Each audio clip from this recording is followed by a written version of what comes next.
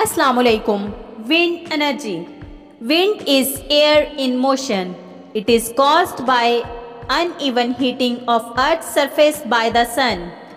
Since the Earth's surface is made of different types of land and water, it absorbs the sun's heat at different rates.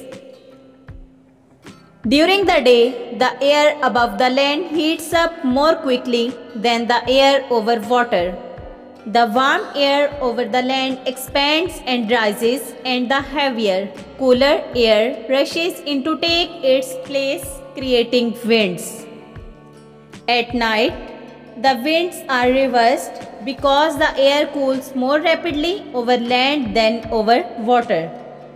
In the same way, the large atmospheric winds that circles the earth are created because the land near the earth's equator is heated more by the sun than the land near the north and south poles. Today, wind energy is mainly used to generate electricity.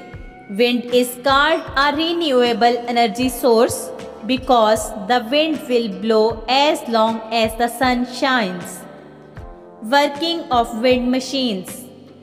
Like old fashioned windmills, today wind machines use blades to collect the wind kinetic energy.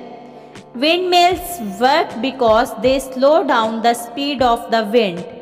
The wind flows over the airfoil shaped blades, causing lift like the effect on airplane wings, causing them to turn. The blades are connected to a drive shaft that turns an electric generator to produce electricity. With the new wind machines, there is still the problem of what to do when the wind is not blowing.